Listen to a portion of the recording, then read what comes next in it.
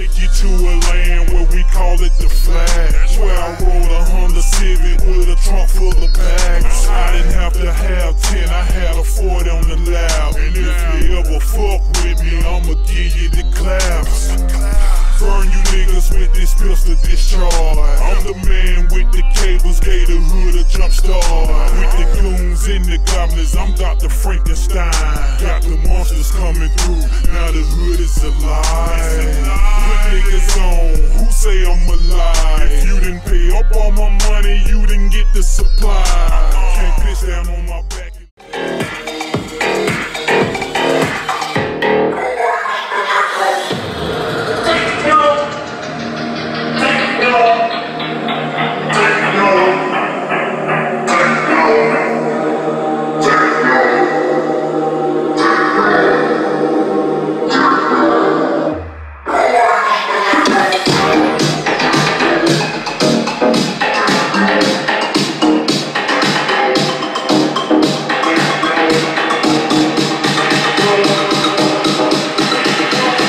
Давай вот так, да? Что ты как собака на сене определись. Давай. Try to tell me it's rain. Ain't no dummies round here, but you can have that little chain. Your favorite hustler about to make his premiere. Got 'em asking when the album drop. Всем привет! Сегодня хочу рассказать про аудиосистему в автомобиль Mazda 6. Этот автомобиль был собран полностью на компонентах, купленных и подобранных в нашем магазине и установленный нашими руками в нашей установочной студии «Автостиль». Вкратце пробегусь по составу системы. Здесь стоит два усилителя, мощный 15-дюймовый сабвуфер, добротный двухполосный фронт, собранный на двух двадцатках и твиттерах. Ну а в качестве головного источника здесь установлен взамен штатной магнитолы Android, который куплен был на Алиэкспрессе под распродажу. Но тем не менее он является источником сигнала, и от этого мы и плясали. В качестве сабвуфера мы подобрали установили хороший добротный сабвуфер Pride HP15. Номинал катушек этого сабвуфера 1,6 плюс 1,6 Ома. И катушки подключены в параллель и работает на этот сабвуфер усилитель Avatar ATU 1500. То есть, по сути, усилитель нагружен в нагрузку 0,8 Ома. Бас получился очень плотный, насыщенный и, я так скажу, с большим запасом для этого автомобиля. Основным пожеланием заказчика было одно – установить усилители только не в багажнике. Ну и тут остается всего один вариант – поставить их под сиденье. Басовый моноблок поставили под сиденье водителя, а мощный четырехканальный усилитель Урал 5 4.260 расположился под сиденьем пассажира. Усилители закреплены на деревянных проставках, то есть под штатным ковриком. Изготовлена была площадка из МДФ, и она прикручена к металлу. Усилители уже висят на дереве, а не на металле. Тем самым меньше фонов, меньше щелчков и меньше всяких паразитных шумов. Сиденье спокойно ездят. И я вот даже своим ростом сел на заднее сиденье, не мешают они при эксплуатации и при перевозке задних пассажиров. Поскольку штатный кислотный аккумулятор давно уже подводил владельца, даже в несильные морозы, он заказал и установил аккумулятор АГМ емкостью 85 ампер часов фирмы Excite, который э, встал в стандартное место без всяких доработок, без всяких проблем. Клеммы остались штатные. А поскольку усилки расположились по разным сторонам, было принято решение, что на каждый усилитель и плюс, и минус мы тащим независимо друг от друга. То есть на каждый усилитель идет по одной протяжке 4 гейджа. Это 20 квадратов. Кабели использовались SWAT, использовались Pride, то есть это качественный медный кабель. Никакой ПВшки, никакого промышленного кабеля, чистый автомобильный гибкий кабель.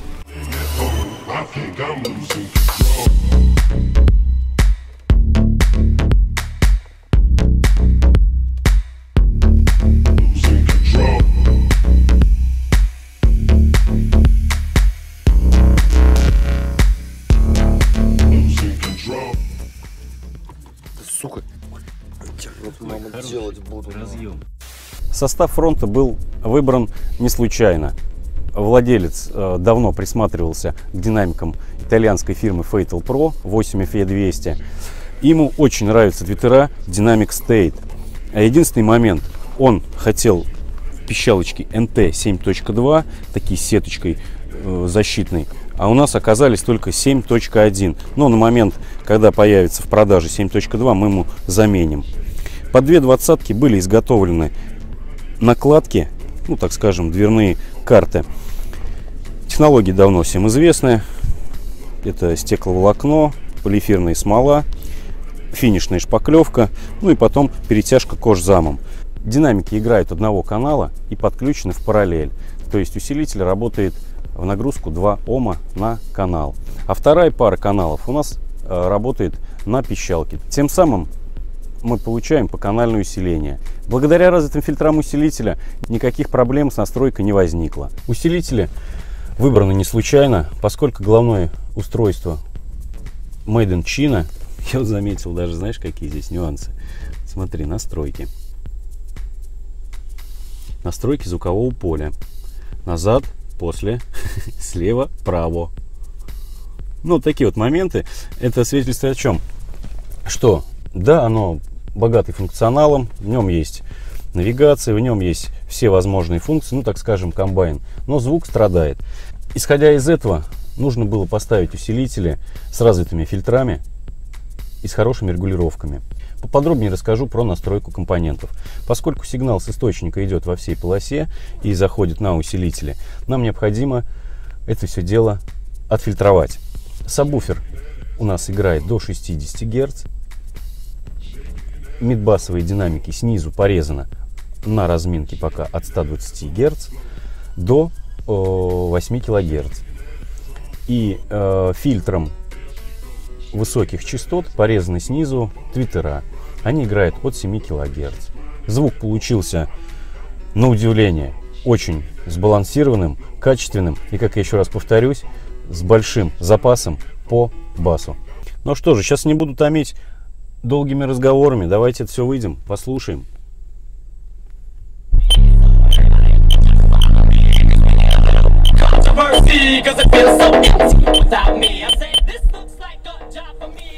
Может секунд. Пока песня разыгрывается, я забыл сказать то, что вот в такой открывающейся нише у нас установлен дистанционный регулятор баса, вольтметр и клавиша. Владелец попросил поставить клавишу на отключение усилителей.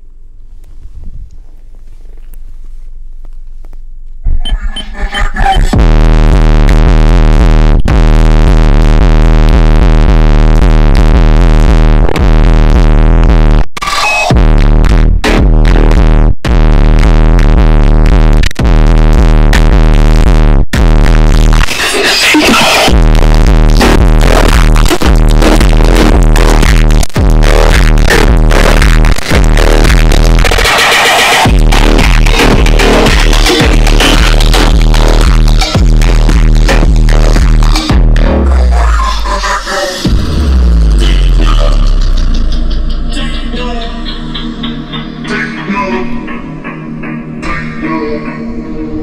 Techno.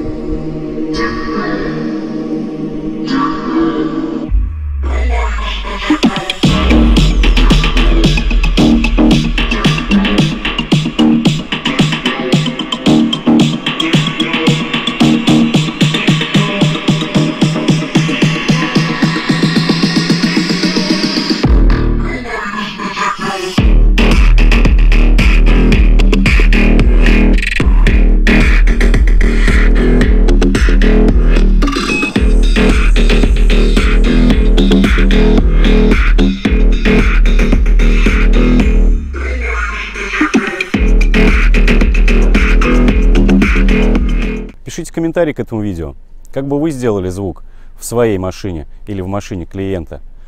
Подписывайтесь на наш инстаграм. Я, кстати, выкладывал частично, как мы делали дверные карты. Ну, всем пока, двигайтесь с музыкой. Try to tell me it's rain. Ain't no dummies round here, but you can have that little change. Your favorite hustler about to make his premiere. Got him asking when the album.